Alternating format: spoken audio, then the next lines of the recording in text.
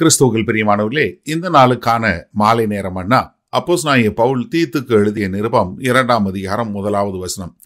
தீத்து இரண்டு ஒன்று டைட்டஸ் டூ ஒன். நீயோ ஆரோக்கியமான உபதேசத்துக்கு ஏற்றவைகளை பேசு. ஒரு ஊழியக்காரனுக்கு கடிதம் எழுதும்போது தன்னுடைய ஆவிக்குரிய மகனாக இருந்தாலும் அவர் வந்து ஒரு ஊழியக்காரனாக இருக்கிறதுனால அப்புஸ்நாய பவுல் அவருக்கு என்ன எழுதுறாரு? நீ என்ன பேசணும்? நீ பேசக்கூடிய காரியங்கள் என்னவா இருக்கணும்? ஆரோக்கியமான உபதேசம். உபதேசம் சரி அந்த உபதேசம் ஆரோக்கியமானதா? சவுண்ட் டாக்டரின் என்று சொல்லக்கூடியதாக. ஏன்னா இந்த நாட்களில் நமக்கு வந்து ரொம்ப ரொம்ப தேவையான ஒன்று. இன்றைக்கு நம்ம கேட்கக்கூடிய பிரசங்கங்கள் எப்படி இருக்கிறது? நம்மை கிறிஸ்துவின் மேல் பக்தி வைராக்கியம் உள்ளவர்களாய் கிறிஸ்துவை போல மாற்றக்கூடிய காரியமாய் இருக்கிறதா? அதனால தான் தீத்துக்கு எழுதும்போது என்ன எழுதுறாரு?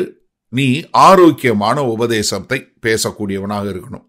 இது அப்போஸ் நாய பவுல் திரும்ப திரும்ப எழுதும்போது மொத்தமாக ஒன்பது முறை தன்னுடைய நிருபங்கள் எழுதும்போது என்ன எழுதுறாரு? ஆரோக்கியமான உபதேசங்கள் என்று சொல்லக்கூடிய காரியத்தை. இந்த தீத்து மொத்தமே மூணு அதிகாரம் தான் இதில் ஐந்து முறை சொல்றாரு. என்ன? ஆரோக்கியமான உபதேசம். அப்போ என்ன அர்த்தம்? ஆரோக்கியமான உபதேசத்திற்கு பஞ்சம் வரப்போகிறது. அதனால கள்ள ஊழியர்கள் வந்து தங்களுக்கு ஏற்ற காரியங்களை உபதேசிப்பாங்க. நீ அதனால ஆரோக்கியமான உபதேசத்தை பேச வேண்டும் என்று சொல்லக்கூடியதாக.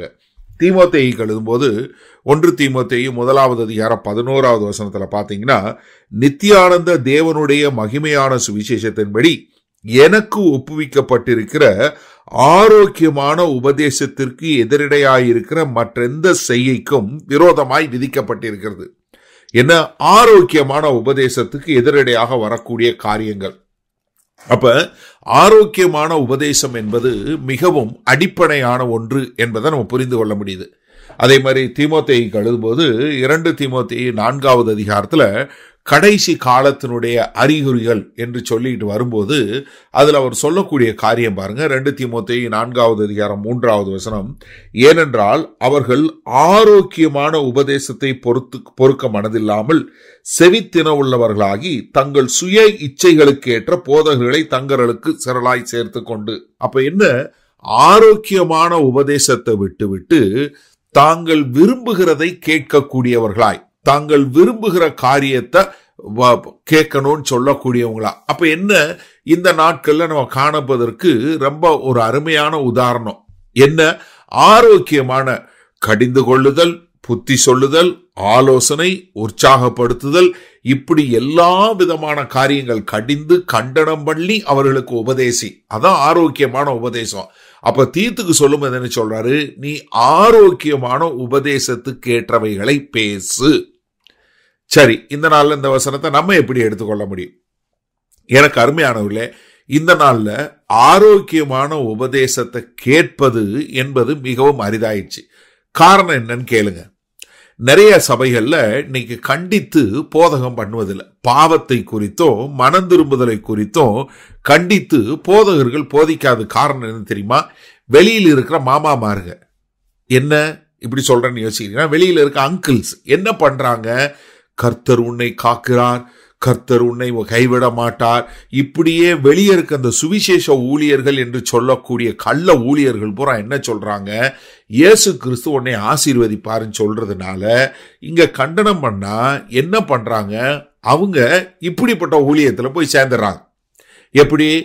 நம்ம வந்து ஏதாவது ஒரு கோபுரத்துக்கு போவோம். நம்ம ஏதாவது ஒரு மலைக்கு போவோம். இல்லைன்னா நம்ம அந்த கூட்டத்துக்கு போவோம். இந்த சுவிசேஷ கூட்டத்துக்கு போவோம்னு சொல்லி மறுபடியும் மறுபடியும் அவங்க பால் குடிக்கிற பிள்ளைகளை போல தான் இருக்கிறாங்களே ஒழிய திடமான ஆகாரத்தை சாப்பிட்டு அவர்களும் போதிக்கக்கூடிய அளவிற்கு வர வேண்டும் என்பதை விட்டு விடுறாங்க என்ன காரணம்?